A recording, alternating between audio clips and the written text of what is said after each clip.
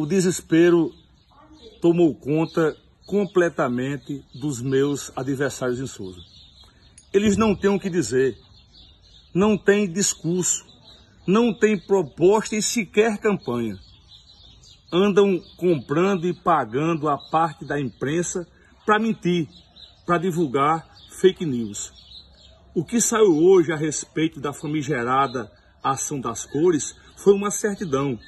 Virá ainda o acórdão com a decisão e dessa decisão nós vamos recorrer e ainda cabe outros recursos.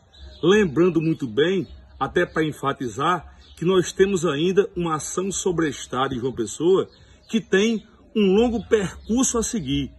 E nessa ação nós vamos vencer, porque seria impensável e impossível que eu tivesse os meus direitos políticos caçados porque pintei prédios de verde.